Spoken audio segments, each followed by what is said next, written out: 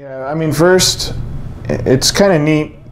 We started out obviously with more than two seniors when you know four years ago, and these um, two have, have gone through thick and thin to, to get where they are, and uh, I mean. It, it's a it's a feat, you know. That there's a lot of things that have happened in the past four years that um, have made them stronger, and they've become great leaders of this program so I'm proud of what you know. This was a great meet for them to finish up it in our pool.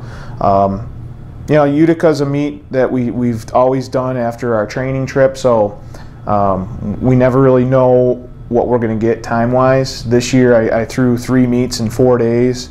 Um, it's a little test run. We've always done back to back Utica Hartwick or Utica Le Moyne or Le Moyne Hartwick or whatever, but um, we've always gone back to back trying to get mentally and physically beat up a little bit, ready, um, you know, a little bit of strength gain there as we go into our taper and, and our championship meet.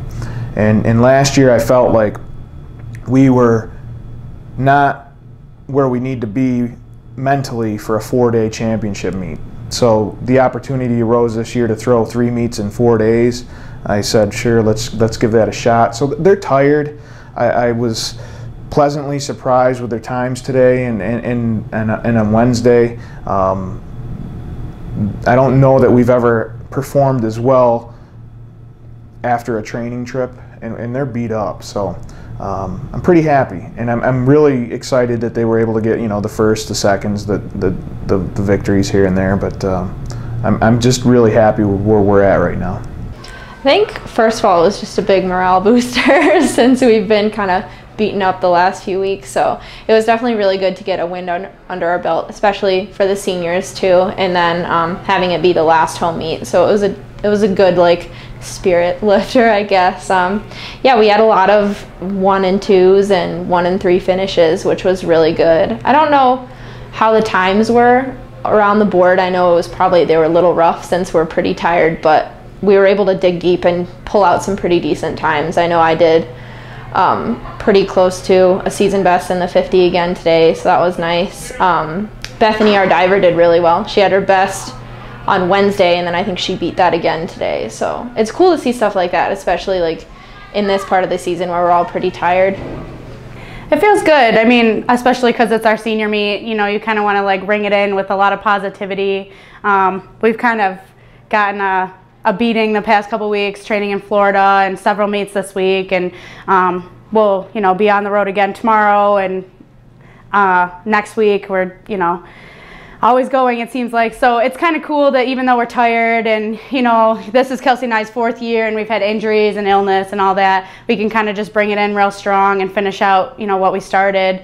Um, you know it's it's actually a great feeling to come out with a win after all our hard work and you know it, it makes it all worth it in the end Sure. We, have been doing double practices for about two two weeks. You know, ever since we got back together, uh, a week and a half or whatever it's been, um, and we're going to continue doing that for another week. Working pretty hard. Um, we go into like a pre-taper phase where their bodies adjust to uh, maybe doing a little bit less. We're going to kind of wean off the the weights and the dry land and um, start getting into speed specific things and, and race specific things over the next four weeks. Um, and like I said a few minutes ago, I, I don't think that I've had a team that's better prepped to do well at that championship meet. Um, and, and, I've said this before this year. We've had you know talent come and go, and, and, we've done well and this and that. But this team has worked really hard, and I think each one of those individuals is going to see results um, that they want to see. You know, they're going to accomplish great things. Really, just keeping the energy going, and then at this point, making sure we're really treating our bodies right and keeping our spirits up as we have like these last few meets, and then you know taper will start. So it'll start. The practices will at least get a little bit easier, and um, then it's just kind of you just keep going until then. We have about 30 days left, so it's really just about staying together as a team and keeping that energy going until the last big meet. We have a long road ahead of us. I think it's 31 days from now we'll be getting on the bus uh, and heading to um, states. So, you know, we got probably a couple more weeks of real hard work and then we'll kind of slip into a taper from there. Um, which you know we are all very excited for. Um, but you know we really have to focus and keep our you know eye on the prize throughout this because we all have goals. We want to go to states and swim fast, um, and I think that we've been working really hard. So just to keep that up, so it translates into you know the states meet and you know hopefully there's national qualifiers. I know chris already did. Um, so it's really excited to just continue with what we're doing staying hydrated in the weight room working hard in the pool. I mean that's all integral to what we're trying to do here